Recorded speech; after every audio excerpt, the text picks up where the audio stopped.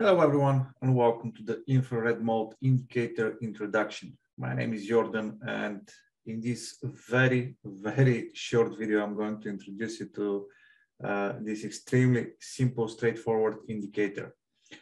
So what does the indicator do? It basically shows you straight on the chart what are the levels or the zones uh, on the given chart that you're looking at where you have most of the volume.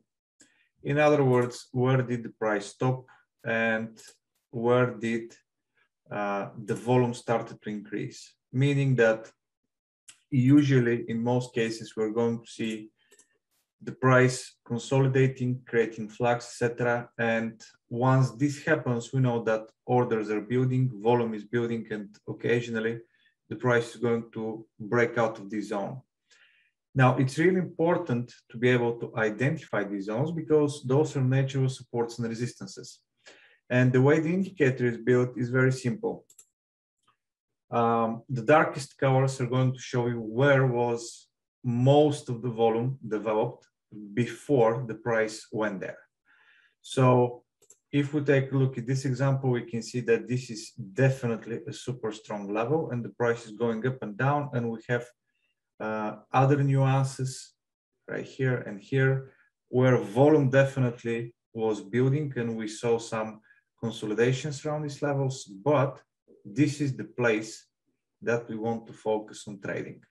So what we can do here is, first of all, on the way up, you can be selling the bounces, right? I usually do only the first one. Then this one I would be definitely skipping. We have afterwards a very clear breakout and retest. So this immediately becomes uh, buy the pullback kind of situation, amazing risk reward ratio. Then again, you have the first test of this zone once we went to different levels and you can see again what the price is doing, right? We have this strong bounce. Now, once this bounce is happening, I wouldn't be trading this thing uh, for the second time because now this is too close. These two lows are very close to each other. So let it do whatever it wants to do. And for me personally, this is going to be a breakout. And right here on the pullback, now I'm trading the opposite direction. So this becomes tradable as well. So that becomes a sell opportunity. Since there was a lot of bars and a lot of time passed right here, that could be a sell opportunity also for me right here. Later on, as it breaks, right here, we have a clear breakout, pullbacks, and buy opportunities again, because the zone and the time period is long enough. This is probably slightly different example. We have a consolidation zone, the volume is building, it's actually the three levels here, but in the middle we have the strongest zone. You have a breakout, and once the price is uh, going and retesting this zone, this is a perfect opportunity to go ahead and look for sales inside this box. And since now you have another level or consolidation zone right here where volume was building, you can be trading sales versus this zone again.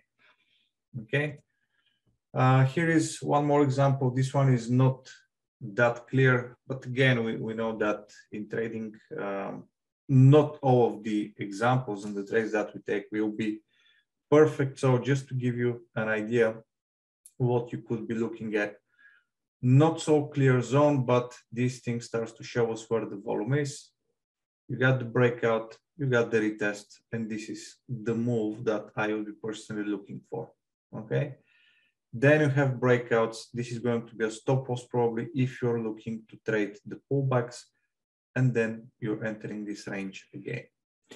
So I hope this explains more or less what's the idea behind the indicator. Of course, um, the discussed ideas here are very simple, very straightforward.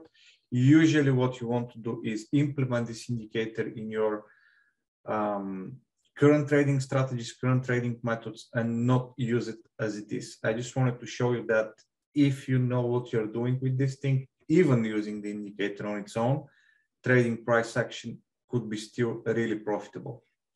All right, thank you. And if you have any questions, please leave a comment.